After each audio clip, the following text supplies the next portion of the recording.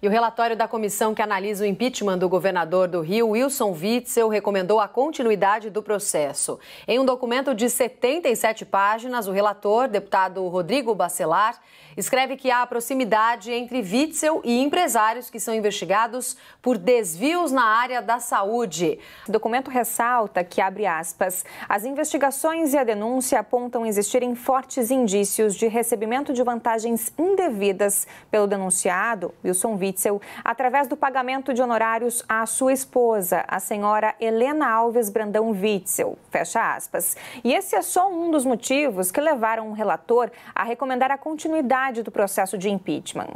A gente conversa agora com Leandro Rezende, que explica os detalhes desse relatório e também o que acontece a partir de agora. Leandro, boa tarde. Oi, Amabile, boa tarde para você, todo mundo com a gente aqui no Visão. Significa esse relatório que o impeachment do governador Wilson Witzel está realmente na sua reta final. O que, que acontece a partir de agora?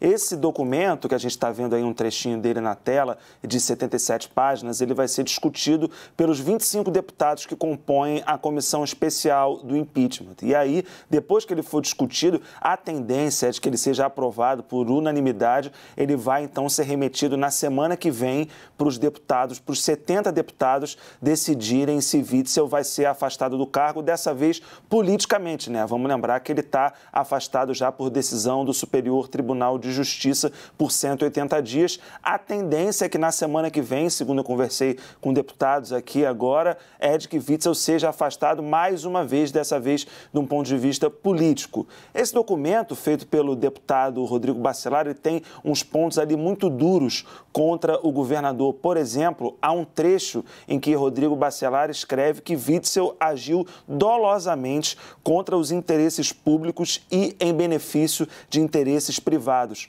Ao longo dessas 77 páginas, o relator da comissão de impeachment traz diversos trechos de denúncias do Ministério Público Federal feitas no âmbito da Operação Favorito, aquela que foi a primeira a mirar o Wilson Witzel e Helena Witzel, e também traz trechos das denúncias feitas no âmbito da Operação Tris in Idem, que foi aquela operação que prendeu, por exemplo, o pastor Everaldo, presidente do Partido partido de Witzel e que foi a operação que levou Witzel a ser afastado do cargo. Então, é um documento bem robusto, os deputados receberam ele hoje e vão discutir, os 25 deputados que compõem a comissão do impeachment vão discutir ele na quinta-feira, no dia 17. Então, já um penúltimo passo, digamos assim, antes do impeachment de Wilson Witzel ser, enfim, votado pela Assembleia Legislativa do Rio de Janeiro.